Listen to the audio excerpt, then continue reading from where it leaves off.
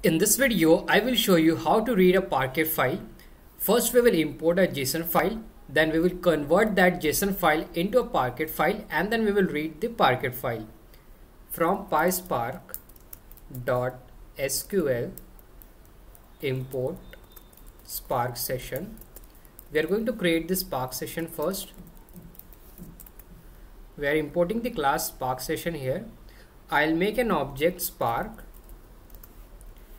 now from this spark session class, I will call the method builder dot get or create. So this will create a spark session for us. Let's execute our code. Now I'm going to make one variable df. In this I'm going to read a JSON file and save it.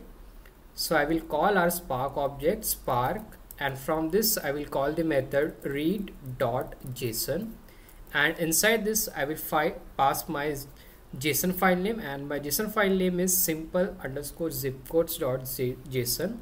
So I will type simple underscore zip codes dot JSON. Let's execute our code. So I'm importing the JSON file object and saving in the variable df. Let's see the top five rows of our data frame df. So I will write df dot show and inside this I will put 5 here. So here you can see these are the top 5 rows. So we have columns such as city state zip code type and zip code.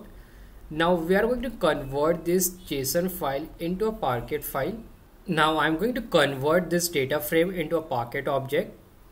So I will use the method write dot write.parquet I will call our data frame df dot write dot parquet because we want to convert it into a parquet file. And inside this in single quotes or double quotes I will write the file name. For example I'll write df dot parquet underscore one. Let's execute our code. So now this will write a parquet file for us. So it has written the file. Now we are going to load this parquet file. I'm going to make one object let's say parquet file and to read the parquet file we have to use this method read.parquet so I will call our object spark and from this I will call the method read.parquet and inside this I will pass the parquet file name. So I'll just copy this from here because our parquet file name is df.parquet underscore one. And I'll paste it here. Let's execute our code so it has read the parquet file and save in this object parquet file. Let's look at our data frame. I will call this parquet file dot show. And here in the output you can see we got the data frame here. So we have all the columns such as city state zip code type and zip code. We can also check the schema that is the column names and their types. So I will write parquet file dot print schema. And here in the output you can see we have schema here. So our city column is string state string zip code type string and zip code is long. And here also you can see all these are string columns. And the last one zip code is an integer type. So it is a long type here.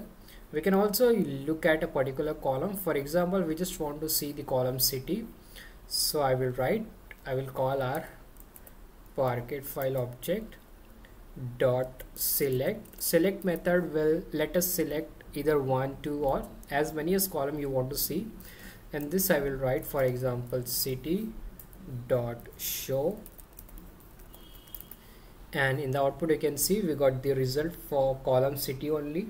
If you want to see more than one columns you just have to pass the second column name for example we will also want to see the column state. So I'll just put one comma here and write the column name state. In the output you can see we have city as well as state here.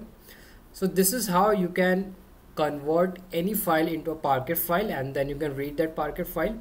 This video was about how to read a Parquet file in PySpark I hope you enjoyed this video. If you like my video, please subscribe to my channel. Thank you for watching.